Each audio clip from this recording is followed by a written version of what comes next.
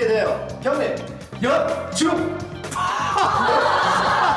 신고합니다 슈퍼주니어 은혁 동해는 연예가 중계 인터뷰를 몇 받았기 신고합니다 연중 여러분 앞에 새로운 이미지로 새롭게 인사드리는 스타들을 만나봅니다. 스타 신고합니다. 두 번째 스타는요. 얼마 전 컴백을 알렸죠. 슈퍼주니어 DN이 동해 은혁 씨입니다. 진짜 멋있어요 안녕하세요 슈퍼주니어 TN입니다. 우리 슈퍼주니 어 혹시 장명할 때 후보 없었어요? 뭐 이제 동해 씨 같은 경우는 굉장히 또 잘생겼고 어떻게 굉장히 연예인스럽게 딱 잘생겼잖아요. 그리고 저 같은 경우는 이제 좀 말을 좀 잘하고 그리고 네. 좀 중계가 되다 보니까 네. 그래서 이름을 연예와 중계로 했었거든요.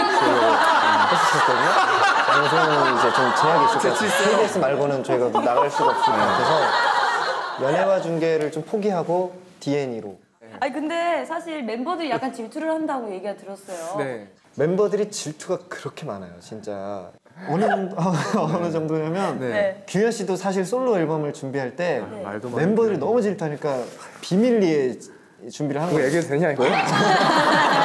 시원 같은 경우는 리허설 하고 있을 때도 계속 무대 옆에서 이렇게 막 팔짱 끼고 이렇게 쳐다보고. 계속 쳐다보면서 무대 끝나고 나면 좋아 보인다? 그런 말도 있었어요. 그냥 내가 앨범 내줄게 나도 껴주면 안 돼? 자기가 제작하겠다고. 무대에 대한 열망이 또 있으신가 봐요. 그러니까 본인 사비로 제작을 해줄 테니까 네. 같이 하자. 근데 정작 제가 이제 뮤직뱅크 대기실 앞에서 뵀는데 네. 멤버분들이 몇 분 오셨더라고요. 제가 봤을 때 어, 가, 어디 가다가 들린 것 같아요. 그 약간 저희가 뭐냐면 지금 쇼윈도 그룹이라고 네.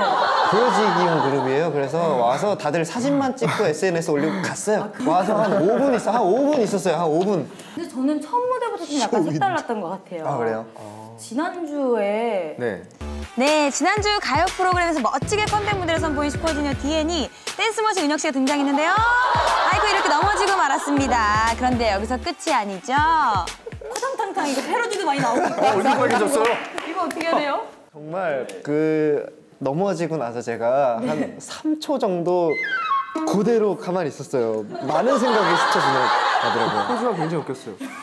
스피커랑 스피커 두 개 그 사이에 딱 껴서 팔을 올리고 이렇게 있는데 참 요상한 자세로 넘어졌죠. 팬분들이 제가 소문내지 말라고 그렇게 얘기했거든요. 무슨 이상한 사진들을 막 합성해가지고 다 만들어가지고 자, 은혁 씨만큼 짓궂은 팬들 이삭죽기까지 아주 패러디가 다양하게 나왔습니다. 야 대단하죠? 근데 또 자켓 사진 얘기를 안 할 수가 없는 게 너무 네. 예술로 나왔어요 정말. 아이 뭐 야, 앨범 하나 있어요? 하나 드리고 싶은데 아, 이거 드려야죠. 아, 아, 그럼요. 벌써 솔드아웃이에요? 저쪽에서 아무 말도 안 했어요. 아 재치 있어요. 이두분 오늘 진짜 아, 내공이 엄청 쌓여 계시네요 진짜. 마지막으로- 제공 좀 주세요. 네, 공 좀. 내 공을 갖고 다니거든요, 항상. 옆에서 못 참으시겠나 봐요.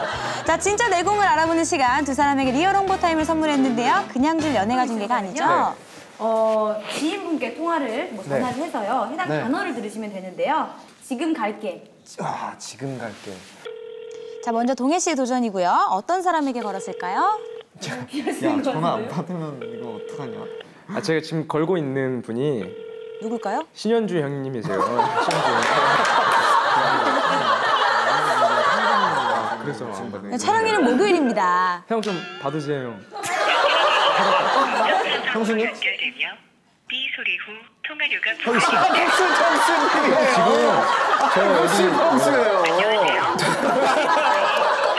대화를 계속 저 이어갑니다. 강남역이거든요 지금 와줄 수 있어요? 연락 번호를 남기시라며 아, 재밌네요. 아 진짜? 내가 쏠 거. 자, 이번에 은혁 씨 도전이고요. 전원이 꺼져 있습니다. 누구였을까요? 네, 지수가 진짜 저한테 건 거예요. 미션 실패했고요. 동해 씨가 두 번째 시도에 나섰는데요. 정말 지금 스케줄이 없어요. 그렇죠. 형, 어?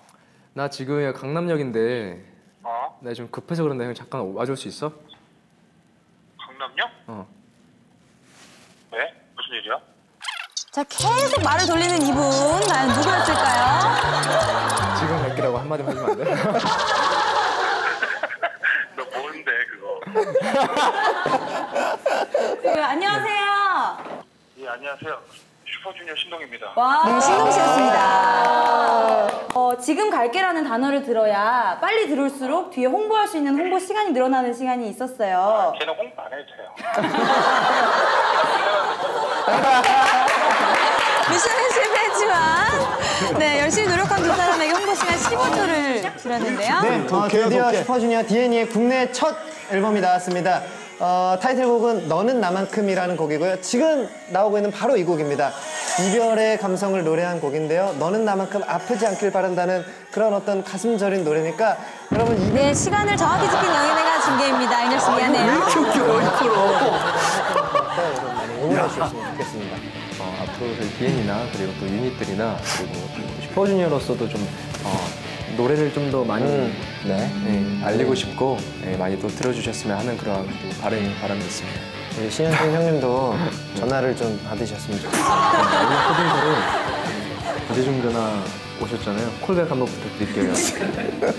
기다릴게요. 감사합니다. 네, 감사합니다. 슈퍼주니어 DN의 멋진 활동 응원하겠습니다.